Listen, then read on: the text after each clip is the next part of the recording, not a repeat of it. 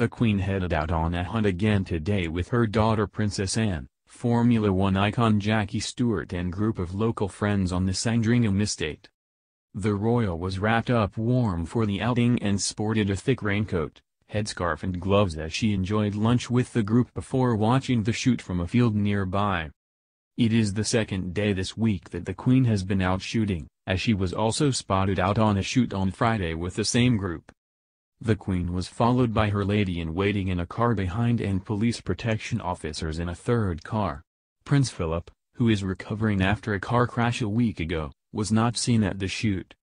Last week she also made a visit to the Sandringham branch of the Women's Institute in Norfolk, where Pointless quizmaster Alexander Armstrong was guest speaker. Her Majesty, who is known to be a superfan of the BBC quiz show, enjoyed tea and cakes with the ladies and took part in a live version of the quiz, which her team won. It is just over a week since the Queen's husband, Prince Philip, was involved in a horror car crash near the Sandringham estate. He was not injured in the crash, which involved a Kia car. A day after the crash he had a replacement Land Rover delivered and has since been spotted driving it on a public road without his seatbelt and has been spoken to by police. Following the incident the Queen faced criticism for making a similar journey without wearing one last Friday. However, it appears that the royal has remained vigilant since having been spotted wearing a seatbelt on Tuesday. During the shoot yesterday the Queen herself did not appear to get to grips with a gun but appeared instead to offer encouragement from the sidelines. She also took the role as royal chauffeur getting behind the wheel of her Range Rover to transport her guests, though it was unclear whether or not she was wearing a seat belt.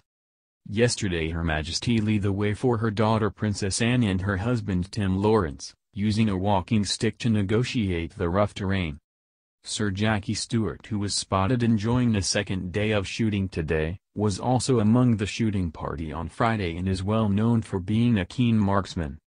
The 79-year-old was a prize-winning member of the Scottish clay pigeon shooting team before he became a racing driver and competed in the UK and abroad. The former F1 racing driver firmly established himself in the royal fold from a young age. He enlisted Princess Anne to write the foreword for his biography and his wife Helen, who is now battling dementia, is godmother to Zara Tindall, the Queen's granddaughter. Her Majesty was also joined by several canine pals, sure to be a welcome addition for the monarch who lost the last of her beloved corgis last year. The royal family is well known for its love of shooting with a Boxing Day shoot an annual tradition.